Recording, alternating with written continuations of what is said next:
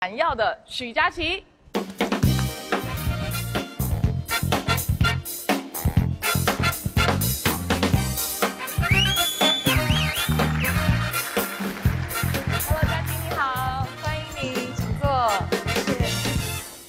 欢迎欢迎欢迎佳琪来到我们 Fila 的直播间啊！首先要恭喜你，因为我们知道 The Nine 已经成团一周年了，而且你也发了自己的新歌，嗯，谢谢。Hello，大家好，我是 The Night 的 Kiki 许佳琪。哇，太可爱了！近近看哦，真人更美。我们知道最近啊，Kiki 有跟我们的 Fila 代言人之一黄景瑜、嗯有一起出演一部综艺哦，嗯评价一下黄老师的表现呗。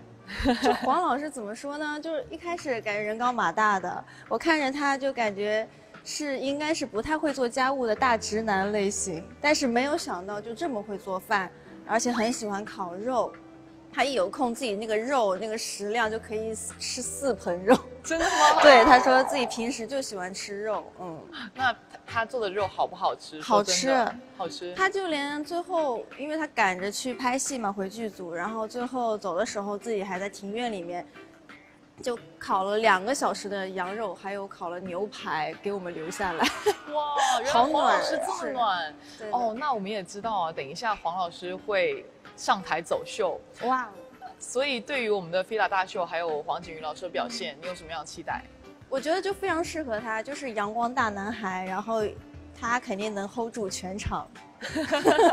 好期待哦！要不要不走到一半，就是再把那个秀个身材之类的。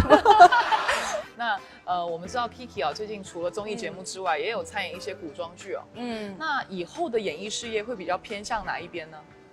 嗯，这也不是现在还没有到我能选择的地步，嗯就是也希望可以各大的呃导演可以 pick 一下我，关注一下我。那我想问一下 Kiki，其实你最早就是小时候的梦想，初心跟梦想的话，你是想成为一个演员吗？或者是想成为呃现在做的事情是你想做的事情吗？是因为我从小的时候是学舞蹈嘛，当嗯时就是很渴望舞台。呃，其实有一个标题，我小的时候练功房上面写着“心有多大，舞台就有多大”，所以呢，这也就是导致我为什么后来走上了这条路，就是我是觉得自己在上面舞台上，不管是在屏幕中，还有在舞台上怎么样表演，然后底下就会有人。呃，看着啊什么会觉得很开心。哇，那其实除了你刚才说的那些之外，还有什么会让你，呃，想要站上舞台？有什么是让你渴望舞台的？开心，我们之后也会有演唱会，也很开心。就是开心的同时又有一点感动。嗯，哇，太好了，太好了！我觉得跟 Kiki 聊完天之后，觉得非常开心哦。感谢她的分享，也是一个很阳光正能量的女女孩子。